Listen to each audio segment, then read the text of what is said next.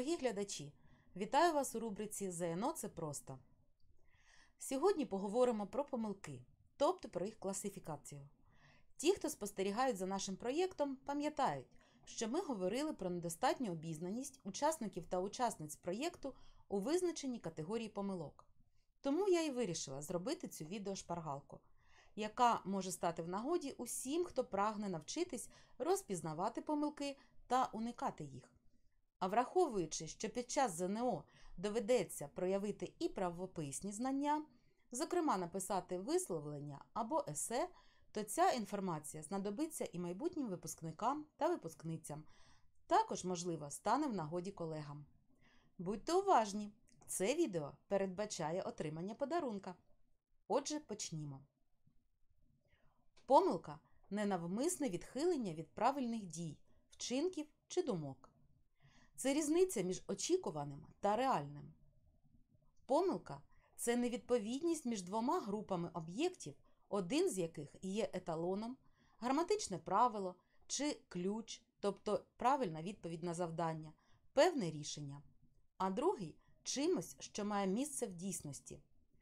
Помилки трапляються у всіх сферах людської діяльності. Найстрашнішими ж є ті, що стосуються життя людини. Та й маленькі помилки можуть бути прикрими. Звісно, що краще уникати їх.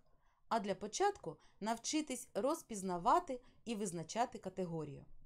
Існують критерії визначення, класифікація та встановлені норми для виправлення помилок.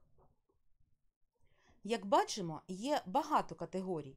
Давайте розберемо їх на прикладах.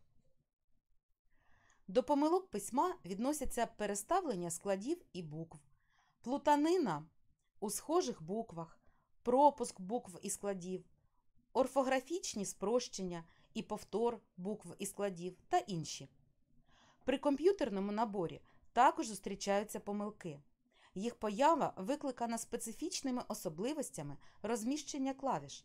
Рука може випадково натиснути не ту клавішу на клавіатурі. Найчастіше при цьому відбувається заміна сусідніх літер місцями.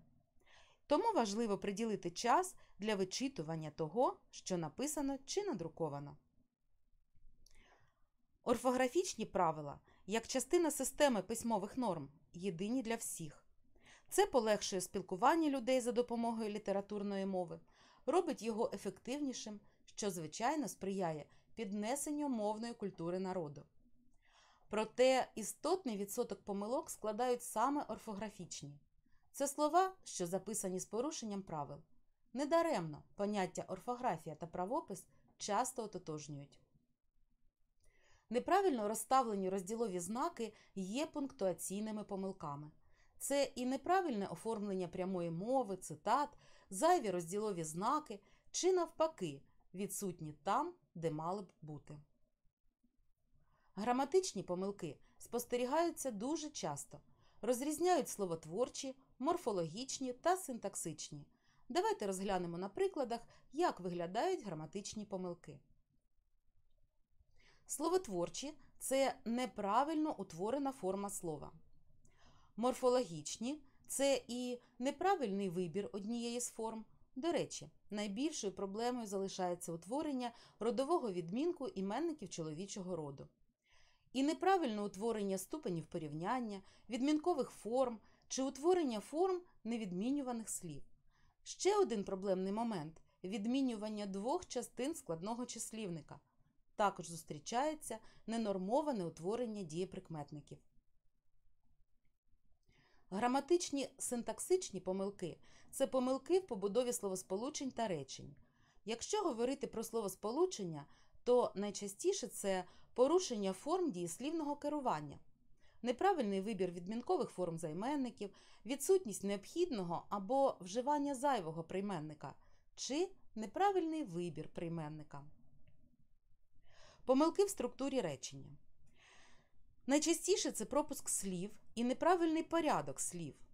Зустрічаються змішування прямої і непрямої мови, порушення граматичного зв'язку між підметом і присудком чи пропуск частин складного присудка.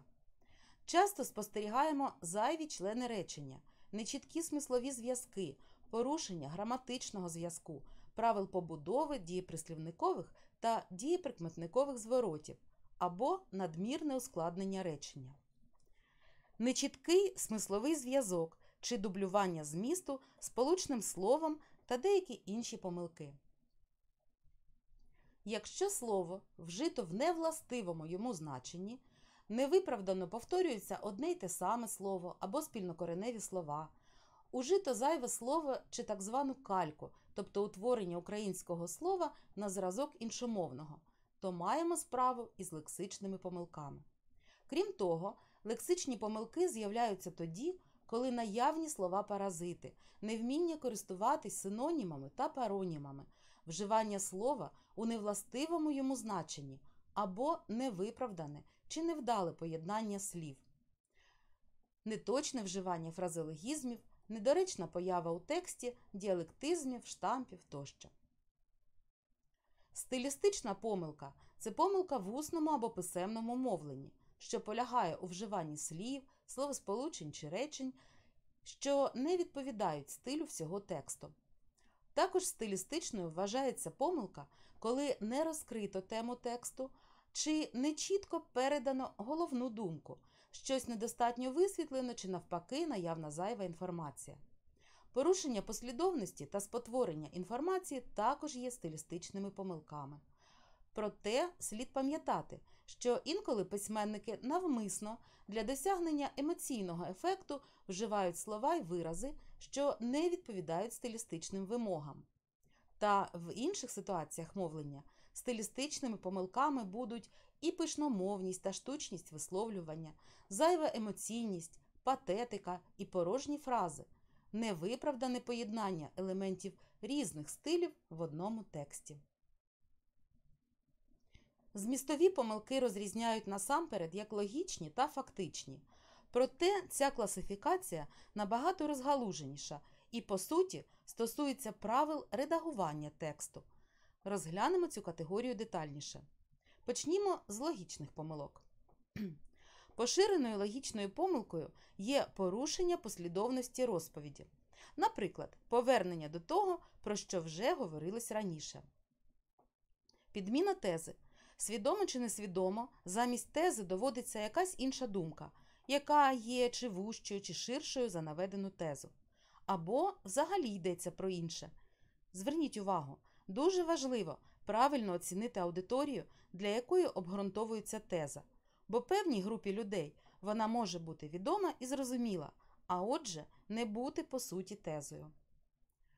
Наступна група логічних помилок пов'язана з порушенням закону протиріччя, другого закону логіки, відповідно до якого не можуть бути одночасно істинними протилежні думки про той самий предмет у той самий час і в тому самому відношенні. Зустрічаються також порушення причиново-наслідкового зв'язку в уривку тексту чи в тексті загалом, та сплутування причини й наслідку або причини та умови. Ще можливий пропуск потрібного роз'яснення у ланцюжку міркувань. Логічними помилками є і поєднання непоєднуваної інформації. Та найчастіше стикаємось із недостатньою аргументацією. Ось декілька прикладів логічних помилок. Дійсно, комусь доводиться бувати у відрядженнях, може бути ще й часто, проте далеко не всім. Це або недостатня аргументація, бо ми не бачимо усього тексту, або пропущено ланку міркування. У разі, якщо б мали на увазі, наприклад, працівників певної організації, для яких часті відрядження є частиною роботи. Далі, очевидно, порушення зв'язку причина-наслідок.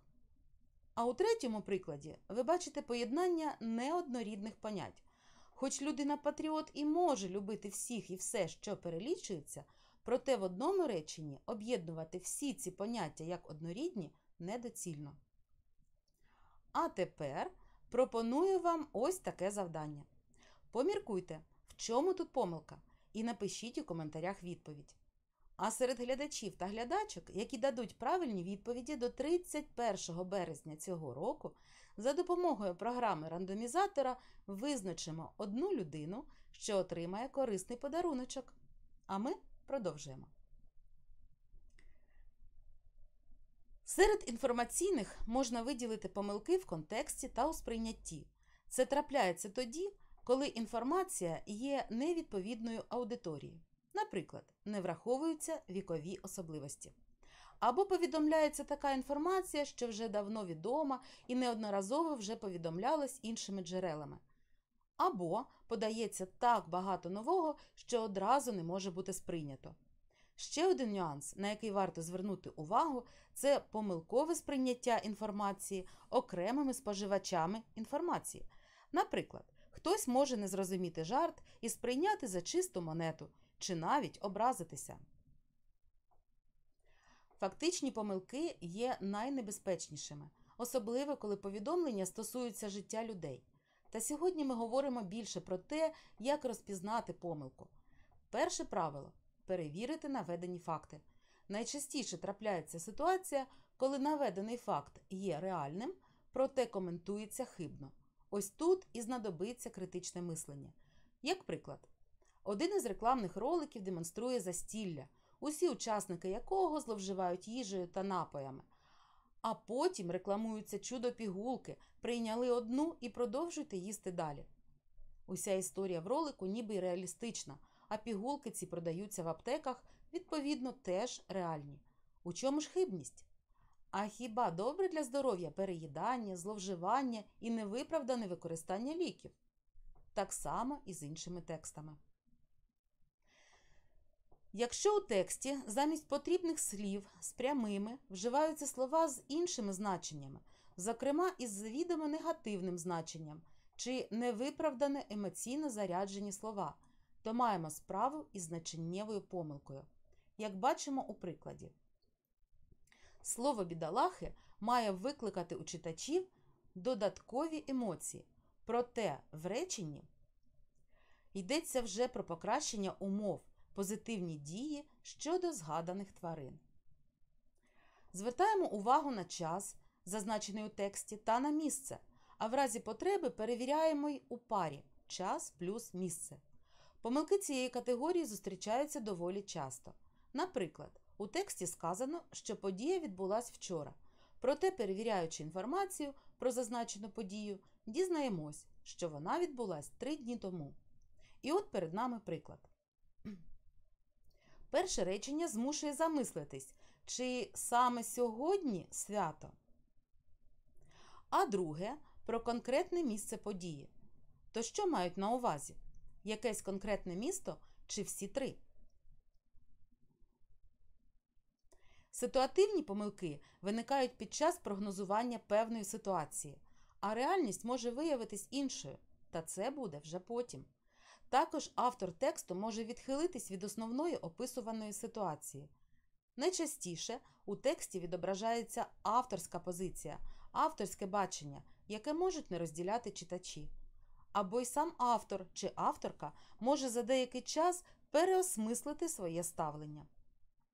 Під час написання тексту, а особливо під час передачі авторського тексту іншою людиною можуть відбуватись спотворення. Інколи це нерозуміння смислу.